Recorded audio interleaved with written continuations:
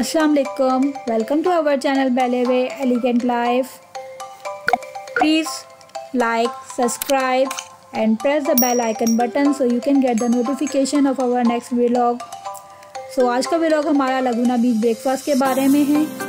ये लगुना बीच की खूबसूरत और दिलकश सुबह का आगाज़ हो गया है और कितनी कूल और प्लेजेंट इन्वामेंट है यहाँ का। बर्ड्स भी इंजॉय कर रहे हैं यहाँ पर।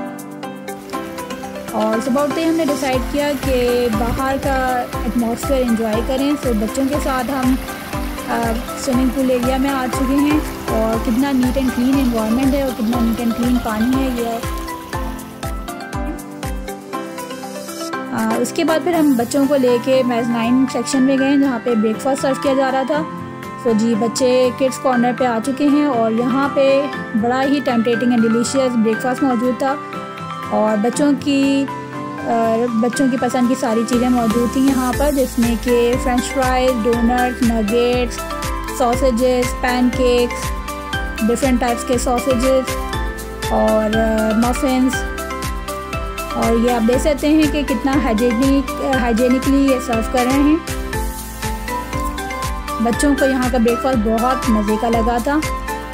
ये लाइव कुकिंग सेशन है, जिसमें कि ये हलवा पूरी, पराठे ऑमलेट वेफल्स कप केक सारी चीज़ें आपको लाइव बना के देते हैं। ये सॉसेजेस का एरिया है डिफरेंट वराइटीज़ के सॉसेजेस हमें मौजूद हैं। ये पूरा सैलेड का सेशन है, जिसमें कि डिफरेंट टाइप्स की सैलेड्स सर्व की गई थी। और ये बच्चों ने डोनट्स के लिए जिद की तो ये डोनट्स का सेशन है। यहाँ पे डिफरेंट वैरायटीज़ के डोनट्स मौजूद हैं, जिनमें कि chocolate donuts and simple donuts हैं। इसके अलावा ये पूरा मफ़िन्स का सेशन है, जिसमें कि chocolate muffin strawberry muffin vanilla muffins हर तरह के मफ़िन मौजूद हैं।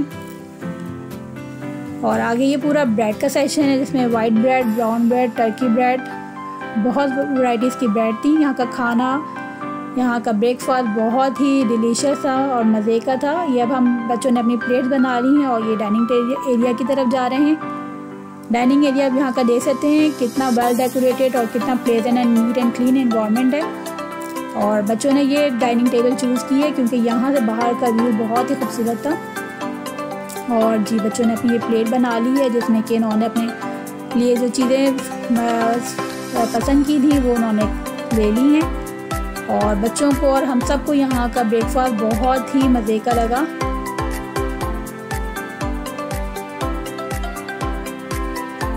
बच्चों के इंटरटेनमेंट के लिए यहाँ पे क्लाउन भी मौजूद थे, जो कि बच्चों को बलून बना के दे रहे थे।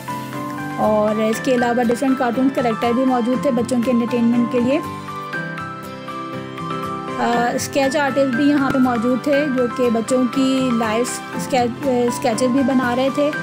और अगर मोबाइल पे आप इन्हें स्केच दे दें बच्चे की पिक्चर दे दें तो वो उसकी भी स्केचेस बना के प्रिपेयर करके दे रहे थे। और इनके स्केच चार्जेस सिर्फ़ फाइव बी थे। और हम सबने अपनी ब्रेकफास्ट कंप्लीट कर लिया और हम रूम की तरफ़ जा रहे हैं ताकि बच्चे प्रिपेयर हो सकें water park fun area enjoy करने के लिए। तो ये आज का हमारा ब्लॉग था। होपफुली यू लाइक इट और नेक्स्ट ब्लॉग में मिलेंगे। उसमें कि हम आपको वाटर पार्क फन एरिया यहाँ का एक्सप्लोर करवाएँगे और इंटरटेन करवाएँगे।